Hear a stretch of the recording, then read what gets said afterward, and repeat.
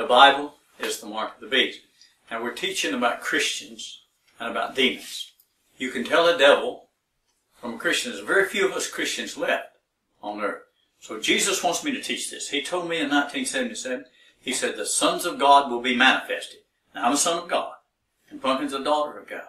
And we're manifesting. Now, who controls us? Jesus Christ by the Holy Spirit. Do we have a church that controls us? No. Do we sin in times? No. Is do we go into all the world because the Bible says so? No. We're not we're not controlled by the Bible. We don't have allegiance to nobody but God. You can question a person. When Paul was hunting Christian, today if it, see what Satan has done, he's played the biggest trick. He made everybody a Christian until nobody's a Christian. That's right. He mixed you all in with sinners. When um, you're of your father, the devil, when you're in the flesh and you're not born of the Spirit. So he mixed everybody in and made us all have to be in the flesh. Today we're going to show you a deep truth. If you got your God in your hand, you belong to Constantine and Queen James. You're a devil. Now You're pay close the attention. devil. Pay close attention as we teach this. This is a deep truth.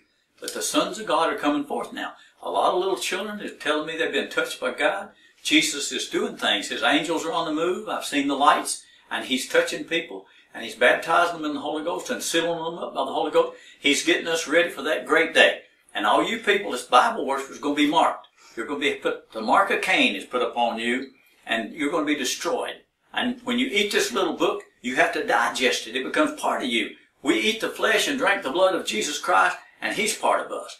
We love Him. He's a King, and He's coming for us. And if you have the mark of Satan upon you, you're going to be left, and you won't be in the first resurrection. And what we mean when we say you eat this little book, that means you have faith in it, you trust in it, you think it's the Word of God.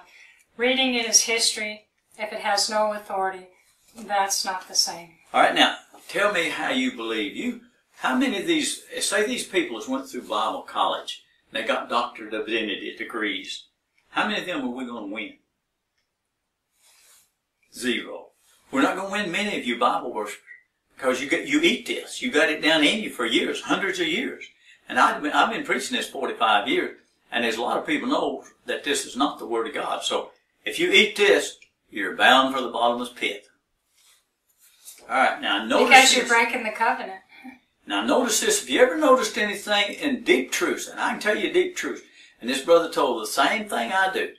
Watch this and listen to this deep, deep, deep, deep truth.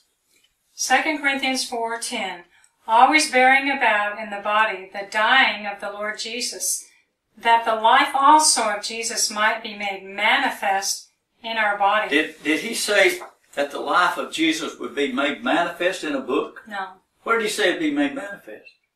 in us. Can't you feel the Holy Ghost? Yeah. The Holy Ghost bears witness that. If you can't manifest the Son of God in your body, then you're a devil. Uh-huh. If you have to carry him in your hand, you've taken the mark of the devil. The new covenant is written by the Spirit of God. It is not written with ink. So you bunch of devils better get your hat. This Oh, is Jesus is coming. God is not, and you can't read this and get it in you and think it's God. You can get it in you, this in you, but that's not the Word of God in you. That's not the Spirit of God. Now, as I'm standing here today, I feel the Holy Ghost going over me like electricity. He wants you to know that He's got to be in your body. In your body. In I your feel soul. God right now telling me that. He wants to be in your temple. Your body is the temple. He's not in this. This is dead letter. You can become a, anything you want out of this. Seventh day Adventist or a Mormon, anything you want out of it. But with the Holy Ghost, what can you become? A Son of God. a son of God, a daughter of God, a Christian. Mm-hmm. All right, now pay attention to this that we're teaching. This is deep. This is just a script, and you're emulating with this. You're not a true Christian with it. You've taken the mark of the devil. Now listen to these words. This pumpkin's going to read them real loud.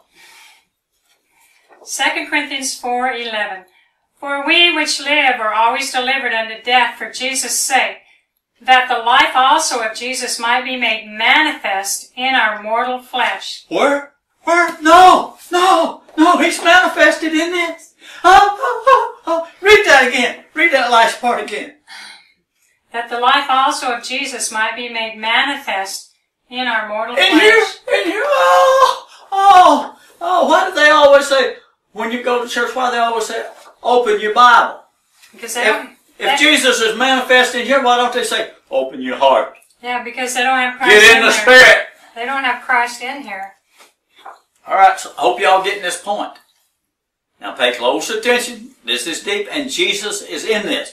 Jesus is with us today. He wants you to know this. He wants you to be saved. He wants you to overcome the delusion. He wants you to overcome the mark of the beast and come to Him. Close the book and come to Jesus.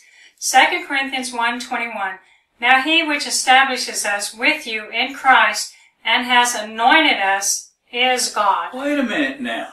It didn't say, they wrote that wrong. What that's supposed to say now, He which establishes us and with you in Christ and has given us a Bible is God. God gave, yeah, the God of this world, Yeah, you see? Lucifer. So, if you've got the anointing, you're of God. right. If you've got the Bible, You're of the devil. you're a devil. You took the mark of the devil. Okay? You can overcome it. Because you didn't know. That's why he's telling you now. You did it out of ignorance and unbelief. But now you can repent and overcome it and ask Jesus to fill you with the Holy Spirit and then live after the Spirit and not be controlled by the dead letter. 1 John 2.27 But the anointing which ye have received of him abides in you, and ye need not that any man teach you. But as the same anointing teaches you of all things, and is truth, and is no lie, and even as it has taught you, ye shall abide in him. You mean I don't have to study the Bible? The anointing will teach me? Yeah. You remember, you know the anointing told me this was an idol. Yeah. This is a, a mark of the beast.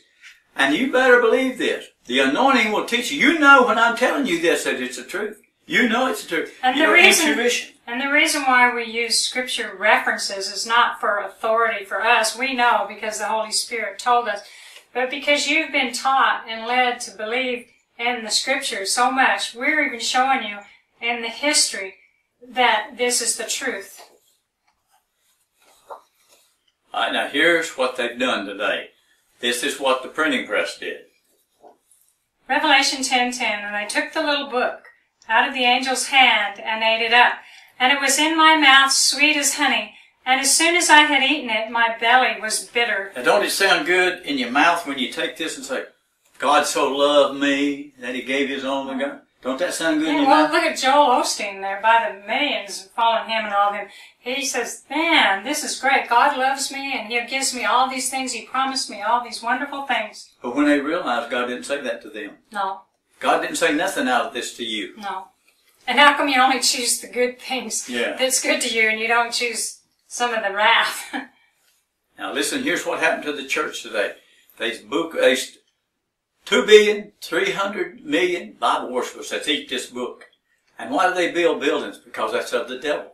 God don't dwell in buildings made with hands. He dwells in us. He dwells in our bodies. and this is real. This is serious, people. Don't take this lightly.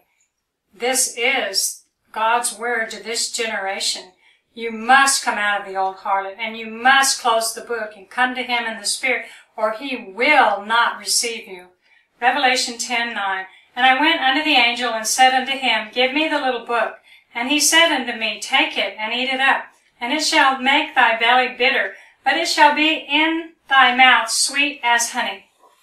See, when you eat the little book, it becomes part of you. It's like Adam and Eve eating from the tree of knowledge. This is the tree of knowledge.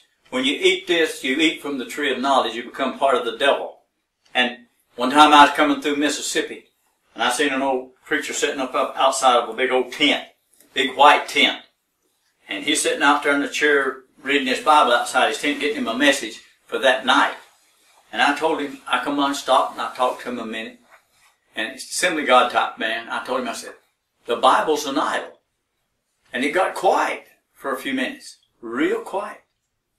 And then I can still see him big old brown eyes look up at me out of that chair. And he said, you can't preach that. You can't preach that. He couldn't preach that. I can preach that. They told me you can't do that.